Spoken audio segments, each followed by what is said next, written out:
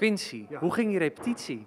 Ging lekker, ging goed. Het is altijd fijn, de bevestiging voor jezelf als je even het podium op kan om je ding te doen. En eh, het geluid goed, eh, is goed afgecheckt en dan kan je lekker liedje doen met de band. En eh, ja, dat geeft wel een lekkere bevestiging dat je, als je het gedaan hebt, vind ik altijd.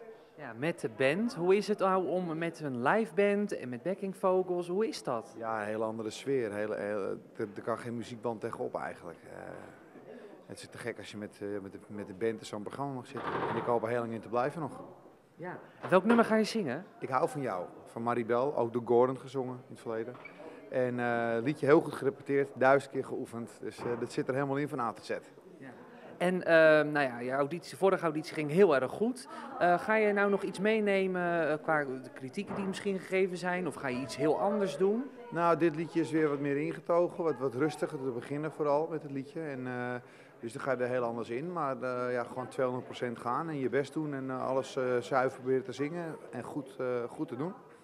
En nou ja, in de wandelgangen zie je natuurlijk wel nu wie er eigenlijk extra is vandaag. René Vroger, heb je hem al gezien? Ik heb hem al even gesproken, gedag gezegd, Gerard ook. En eh, Jeroen zag komen de repetities.